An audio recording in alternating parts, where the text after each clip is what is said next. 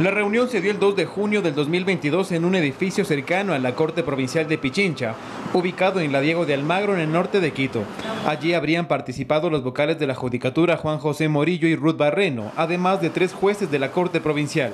El audio tiene una duración de 71 minutos y habría sido grabado por una juez que asistió a la reunión convocada por Morillo, que en esa fecha estaba encargado de la presidencia de la Judicatura.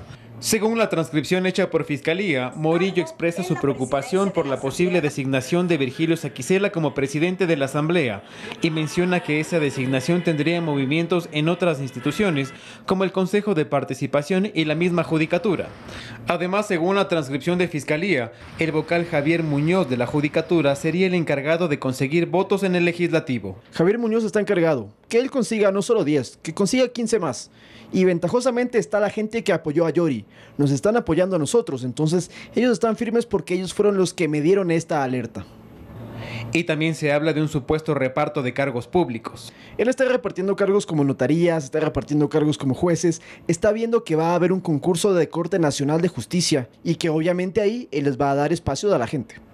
En la transcripción también se señalaría la postura del correísmo para que Iván Saquicela deje la presidencia de la Corte Nacional de Justicia. No hay punto de retroceso, no es negociable. Iván Saquicela tiene que irse.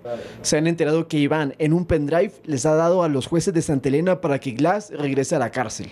Recordemos que para esa fecha Saquicela estaba suspendido de sus funciones desde el 20 de mayo hasta el 4 de julio, cuando se revocó la medida en su contra. En la transcripción, que tiene 21 hojas, también se menciona de cambiar el tribunal para favorecer a la acción de protección interpuesta por Guadalupe Llori para que no pierda la presidencia de la Asamblea. Esta es la prueba madre de la Fiscalía para acusar a los involucrados del presunto delito de tráfico de influencias. En la última audiencia se rechazó la prisión preventiva en su contra. En su lugar no podrán salir del país y deberán presentarse periódicamente ante la autoridad. Edison Saavedra, Noticias 7.